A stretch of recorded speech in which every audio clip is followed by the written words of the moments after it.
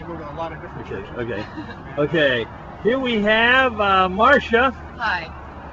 So I can do this without getting run over. Key here is to do this without getting hit by the cars. Amen.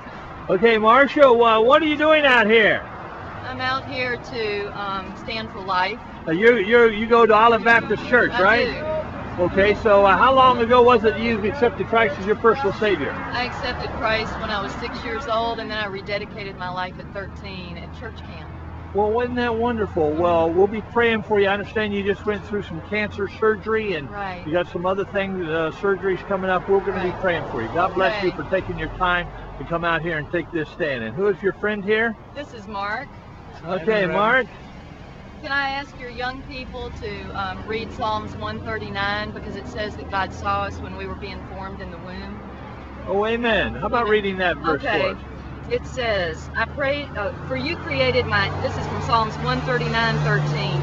For you created my inmost being. You knit me together in my mother's womb. I praise you because I am fearfully and wonderfully made. My frame was not hidden from you when I was made in the secret place. When I was woven together in the depths of the earth, your eyes saw my unformed body. All the days ordained for me were written in your book before one of them came to be. So that's why we're out here, because God is the creator of life.